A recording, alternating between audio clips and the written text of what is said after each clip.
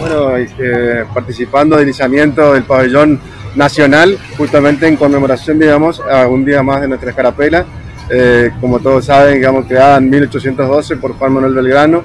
instaurada el Día de la Escarapela, un 18 de mayo de 1835, y la verdad, para nosotros muy importante, en su momento un símbolo patrio eh, fundamental para diferenciarnos, digamos, del bando enemigo, y hoy muy importante porque simboliza toda nuestra identidad nacional, nuestros valores, nuestra historia, y bueno, así que muy contento y orgulloso de poder cortarla esta, y abriendo un poco la semana de mayo. La unidad nacional tiene que darse sin duda en la lucha que estamos dando contra este coronavirus que nos está devastando como sociedad y creo que tenemos que estar todos unidos eh, contra ese enemigo en común para poder vencerlo, derrotarlo y para que vuelva o por lo menos recuperar cierta normalidad en nuestro país. Sin duda, nosotros nos gustan eh, los actos con mucha participación ciudadana, nos gustan los actos con mucha participación popular, pero bueno, por las medidas, por las medidas sanitarias y por todo el protocolo, lo hacemos nosotros de manera simbólica